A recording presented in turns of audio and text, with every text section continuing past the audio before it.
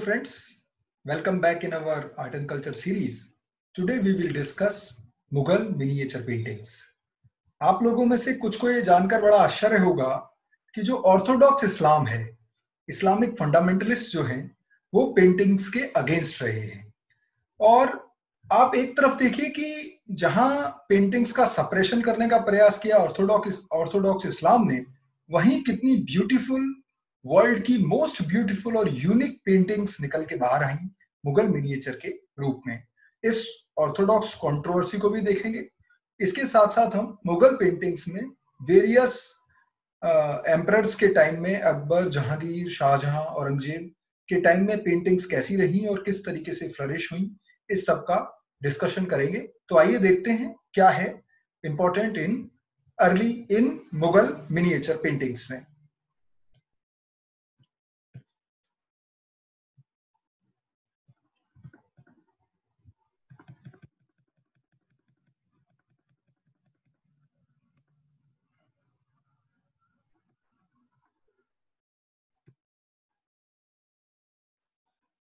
So, Mughal miniature paintings. Painting the magical art Abul Fazal Akbar के time में historian रहे हैं। उन्होंने पेंटिंग को मैजिकल आर्ट कहा। मतलब एक ऐसी कला जिसमें कि निर्जीव इनएनिमेट ऑब्जेक्ट्स में लाइफ फूंक देने की या उनमें जान डाल देने की ताकत हो। ऐसी कला उन्होंने पेंटिंग को कहा है। अब देखिए ऑर्थोडॉक्स कंट्रोवर्सी है क्या? कि जो पेंटिंग्स हैं, जो इस्लामिक ऑर्थोडॉक्स क्या कहते हैं कि ये जो पेंटिंग्स हैं, इनमें जो पेंटर है, वो अपनी पेंटिंग से ह्यूमन को बनाने की कोशिश कर रहा है।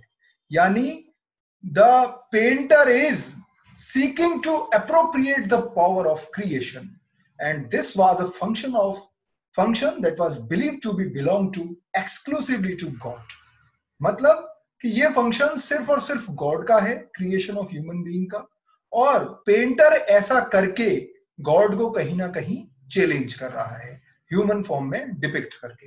तो इस तरीके से इस्लामिक ऑर्थोडॉक्स इसके अगेंस्ट रहे हैं, लेकिन फिर भी मुगल एम्प्रर्स ने इसका विरोध किया है और उनमें बहुत ही पॉपुलर रहे अकबर, जिनने कहा, अकबर की एक जो है कोट यहाँ पर मैं, मैंने लिखा है there are many that hate paintings but such man I dislike it appears to me that an artist has a unique way of recognizing God when he must come to feel that he cannot bestow life on his work.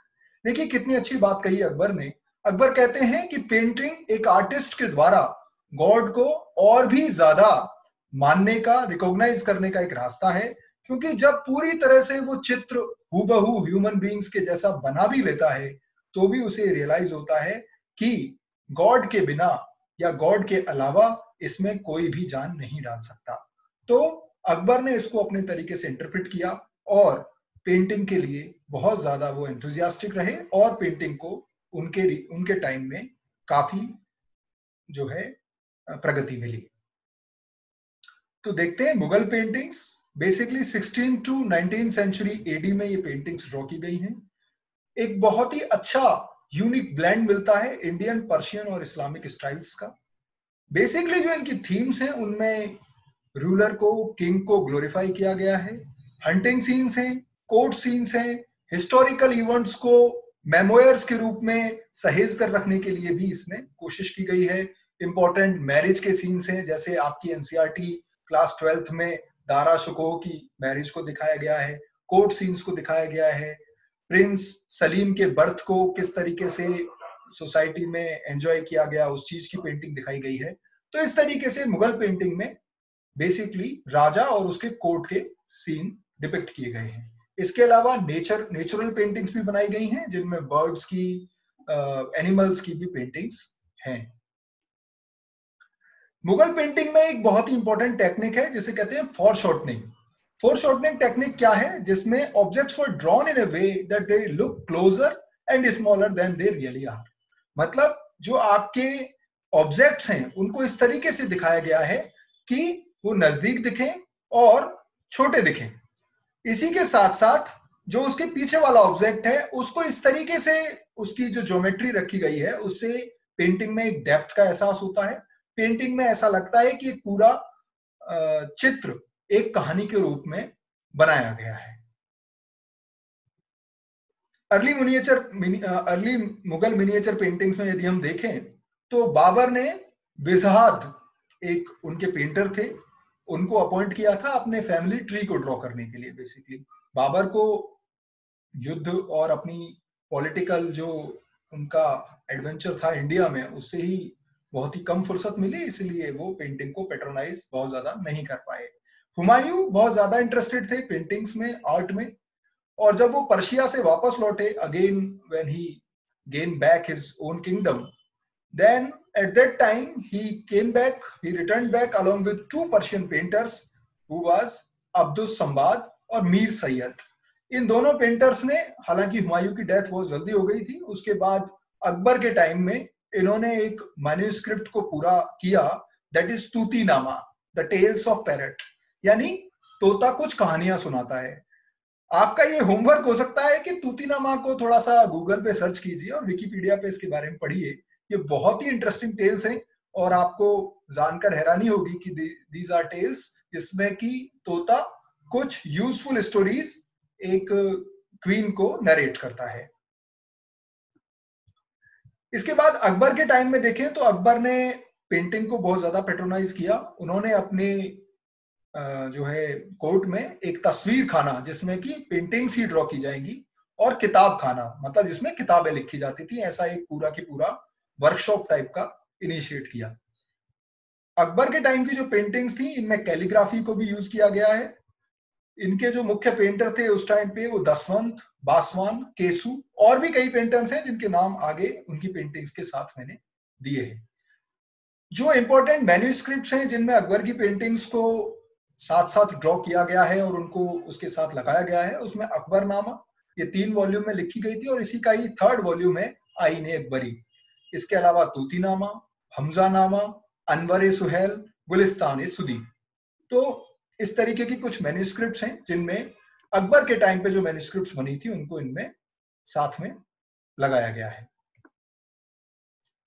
ये कुछ important paintings हैं अकबर के time की। इनमें आप देख सकते हैं नेचुरलिस्टिक पेंटिंग है, जैसा है, वैसा ही दिखाने की कोशिश की गई है। आगे हम देखेंगे कि कैसे आर्टिफिशियल एलिमेंट पेंटिंग्स में बढ़ता जाएगा। ये कुछ कोर्ट के सीन हैं। ये पेंटिंग आपकी एनसीआरटी की बुक में दी हुई है। Birth of prince Ali Jahangir जिन्हें बाद में नाम दिया गया। उनका बर्थ फतेहपुर सीकरी में हुआ है। इसको पेंट किया उस टाइम सोसाइटी में, समाज में जो उल्लास हुआ, जो उत्सव मनाया गया, उसको पेंटर थे रामदास, जिन्होंने पेंट किया है और ये पेंटिंग अकबरनामा में मिलती है। इसके बाद आते हैं जहांगीर के टाइम पे। जहांगीर के टाइम पे मुगल पेंटिंग्स अपने पीक पर थी। जहांगीर बहुत ज़्यादा पेंटिंग को जो है उन्होंने पसंद किया है और पेट्रोनाइज भी किया है। जहांगीर बेसिकली नेचुरलिस्ट हैं। यानी बाय नेचर इन्होंने नेचर को डिपिक्ट करना प्रेफर किया है और पेंटिंग्स में खूबसूरत फ्लावर्स की एनिमल्स की बर्ड्स की भी पेंटिंग बनवाई है और बनाई भी है। इसके अलावा एक इंपॉर्टेंट जो डेवलपमेंट हुआ जहांगीर के टाइम में कि पेंटिंग के चारों तरफ़ एक डेकोरेटेड बॉर्डर बनाया गया। और वो बहुत ही कभी कभी तो बॉर्डर की खूबसूरती ज़्यादा दिखाई देती है पेंटिंग से। इनके टाइम के जो इंपॉर्टेंट पेंटर थे, वो थे उस्ताद मंसूर अयार दानिश, यानी टच स्टोन ऑफ़ नॉलेज करके एक मैन्यूस्क्रिप्ट है, जिसमें जहांगीर के टाइम की कई सारी पेंटिंग्स मिनिएचर पेंटिंग्स मिलती हैं। यहाँ एक आप पेंटिंग भी देख सकते हैं, जहांगीर के टाइम की, जो कि वो ईगल के साथ उन्होंने अपनी पेंटिंग बनवाई है। ये एक बहुत ही इंपॉर्टेंट पेंटिंग पेंटिंग है ये जहांगीर ने खुद ने ड्रॉ की थी, ऐसा माना जाता है। और जेब्रा की ये पेंटिंग है, जो कि उन्होंने बाई हिमसेल्फ ही ड्रॉ दैट पेंटिंग इसके अलावा जहांगीर के टाइम पे, हालाँकि ये कंसेप्ट पहले से था the concept of divine light लेकिन जहांगीर के टाइम पे इसको और भी ज़्यादा ग्लोरीफाई किया गया। डिवाइन लाइट का मतलब क्या है? इसका जो कंसेप्ट है, वो बेसिकली ये है कि गॉड से जो लाइट जो प्रकाश, जो ऊर्जा निकलती है, उसको सबसे पहले राजा रिसीव करता है the king who is the first or who is the, at the highest station in the hierarchy of object receiving light emanating from God. For a izhadi. ये अबुल फजल ने इस कंसेप्ट को और ग्लोरीफाई किया, और इसका मतलब बेसिकली यही था कि the power of Mughal king come came directly from God मतलब जो मुगल राजा हैं, उन्होंने अपनी जो है समाज में अपने प्रभुत्व को बढ़ाने के लिए ये कंसेप्ट का यूज़ किया कि जो गॉड से जो लाइट आ रही है, वो डायरेक्टली राजा के पास आ रही है और उसके बाद वो अपनी प्रजा को उससे चला रहा है। ये एक बहुत ही इंपॉर्टेंट पेंटिंग है। It was painted by Abul Hasan ये एनसीआरटी बुक में भी दी गई है। इसमें आप नोटिस कर सकते हैं कि जो अकबर हैं, जो जहांगीर हैं, उनके हाथ में अकबर की पोर्ट्रे है। उसमें देखिए आप अकबर को सूफी लिहाज में, सेंट के रूप में दिखाया गया है। उनके भी चारों तरफ़ छोटा light emanating from his around his head दिखाई गई है। और जहांगीर के चारों तरफ़ भी आप हेड के चारों तरफ़ देख सकते हैं कि कैसे लाइट को जो है डिपिक्ट किया गया है, दिखाया गया है। और जहांगीर के कपड़ों पर भी आप गौर डाल सकते हैं। उन्होंने मेटरलिस्टिक फॉर्म में अपने आप को डिपिक्ट किया हुआ है और साथ ही साथ अकबर ने स्पिरिचुअलिस्टिक फॉर्म में। तो इस तरीके से जहांगीर और अकबर की ये पेंटिंग बहुत ही पॉपुलर पेंटिंग है। आप गौर से इसको देख सकते हैं। एनसीआरटी में भी इसको दिखाया गया है।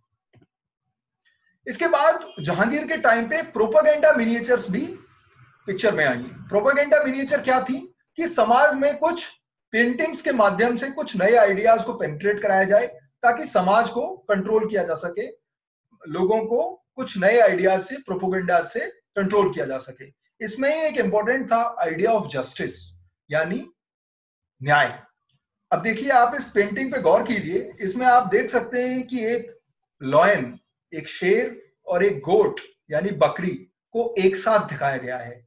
और शेर के ऊपर कौन खड़े हैं? जहांगीर। और उनके पीछे का चक्र नोटिस कीजिए, कितना बड़ा चक्र है। और साथ में वो एक छोटे और जो है कमज़ोर राजा को गले लगाए हुए हैं। यानी ये पेंटिंग दिखाती है कि किस तरीके से जहांगीर ने अपने टाइम में जस्टिस को एंश्योर करने का प्रयास किया। इसके अलावा जहांगीर ने और भी कई इस तरीके की पेंटिंग्स बनवाई हैं, जिनमें बहुत ही पॉपुलर है king as a killer of poverty हम अगली स्लाइड में इसको नोटिस कर सकते हैं। आप गौर कर सकते हैं कि कैसे जहांगीर, आप नोटिस कर सकते हैं कि एक किंग जो है जहांगीर, लॉयन और गोट दोनों साथ में है उनके पैरों के नीचे और उस पर खड़े होकर कैसे पॉवर्टी के डेमोन यानी राक्षस को मार रहे हैं। इसके अलावा आप फेरी टेल्स में जैसे परियाँ होती हैं इस तरीके की जो परियों को दिखाया गया है जो कि उनको उनका क्राउन लेकर आ रही हैं। इस तरीके से सुपर नेचुरल वेज में पेंटिंग्स को ड्रॉ किया गया है। और इसी से इसीलिए हम कहते हैं कि ये पेंटिंग्स प्रोपोगेंडा पेंटिंग्स हैं। दूसरी पेंटिंग में भी आप देख सकते हैं कि जहांगीर कैसे पूरी अर्थ पर खड़े होकर ग्लोब पर खड़े होकर कैसे पॉवर्टी के डेमोन को मार रहे हैं पॉवर्टी के राक्षस को किल कर रहे हैं। प्रिंस खुर्रम खुर्रम शाहजहां का नाम था। शाहजहां बाद में एक जो है उनका पॉपुलर नाम है the conqueror of the world Shahjahan जो कि पूरे विश्व का राजा है, ऐसा शाहजहां का मीनिंग होता है। तो उनकी एक पेंटिंग एनसीआरटी में ड्रॉ की गई एनसीआरटी में दिखाई गई है, जिसमें कि द शाहजहां और prince Khurram is being weighted in the precious metals यानी गोल्ड में उनको तोला जा रहा है and it's called in a ceremony called जश्न वज़न और तुलादान, जिसमें कि जो है उनको तोलते हुए दिखाया गया है। इसके बाद बात करते हैं पेंटिंग्स की शाहजहां के टाइम में। शाहजहां के टाइम में आप जैसा कि नोटिस भी कर सकते हैं कि beauty was at its peak जो पेंटिंग्स की ब्यूटी है, वो अपनी पीक पर थी, लेकिन साथ ही साथ इंपॉर्टेंट बात यह कि इसमें आर्टिफिशियल एलिमेंट्स बहुत ज़्यादा आ गए। यहाँ भी आप नोटिस कर सकते हैं, जहाँ शाहजहां को दिखाया गया है, वो लग रहा है जैसे कि पूरा गोल्ड का पैलेस है, और आप देख सकते हैं वो ताजमहल को जो है देखते हुए दिखाए गए हैं, उनके जो ऑर्नामेंटेशन है, उनकी जो ड्रेस है वो सब बहुत ही ज़्यादा लेविश दिखाने की कोशिश की गई है। इसमें उस टाइम पर गोल्ड और सिल्वर का यूज़ भी पेंटिंग्स में बहुत ज़्यादा किया गया है। इसके अलावा यूज़ ऑफ़ चारकोल और स्केच जो है पेंसिल का यूज़ करके जो स्केच बनते थे, वो भी शाहजहां के टाइम में बहुत ज़्यादा बनने लगे। ब्राइट कलर्स का यूज़ शाहजहां के टाइम में बहुत ज़्यादा मिलता है। रेड ग्रीन बहुत ही पॉपुलर थीम रही है। और इनके टाइम की जो मिनिएचर पेंटिंग्स हैं, उनको मेनली बादशाह नामा में दिखाया गया है। इसके अलावा एक पेंटिंग एनसीआरटी में दी हुई है Shahjahan honouring honouring prince Aurangzeb at Agra before his wedding painting by Payag Payag जो पेंटर हैं, उन्होंने इसको ड्रॉ किया है और बादशाह नामा में ये पेंटिंग दिखाई गई है। इसके इसके बाद हम आते हैं औरंगज़ेब के टाइम पे। तो औरंगज़ेब जो थे, वो बहुत ज़्यादा ऑर्थोडॉक्स थे फंडामेंटलिस्ट थे इसीलिए इन्होंने पेंटिंग्स को एनकरेज नहीं किया। मैंने आपको पहले ही बताया था कि ऑर्थोडॉक्स इस्लाम पेंटिंग्स के अगेंस्ट है। इनके टाइम पर जो मुगल पेंटर्स थे, उनको खाने पीने के भी लाले पड़ गए थे और इसलिए उन्होंने इनके जो है शासनकाल में इनकी जगह को छोड़कर वो पेंटर्स जगह जगह भाग के गए, जिसमें कि राजस्थान, कांगड़ा, बसोली, ये सारे एरियाज़ हैं जिनमें जाके इन्होंने अपनी यूनिक पेंटिंग स्टाइल शुरू की। और उसके बाद राजस्थानी स्कूल, आपका पहाड़ी स्कूल इस तरीके के कई रीजनल स्कूल्स पिक्चर में आए। इन स्कूल्स को हम अगली वीडियो सीरीज़ में डिस्कस करेंगे। तो इस तरीके से मुगल पेंटिंग्स में औरंगज़ेब के टाइम पर ये जो है मुगल पेंटिंग्स एक तरीके से अपने डिग्रेडेशन और अपनी एंड की तरफ़ आगे बढ़ गई। ये जो प्रेजेंटेशन है, ये मैंने मेनली लिया है एनसीईआरटी की क्लास ट्वेल्थ की बुक है themes in Indian history part two इसके अलावा नितिन सिंघानिया सर की बुक है। विकीपीडिया से इसमें मैंने कई सारी चीज़ें ली हैं और गूगल इमेज से पेंटिंग्स की इमेज ली है।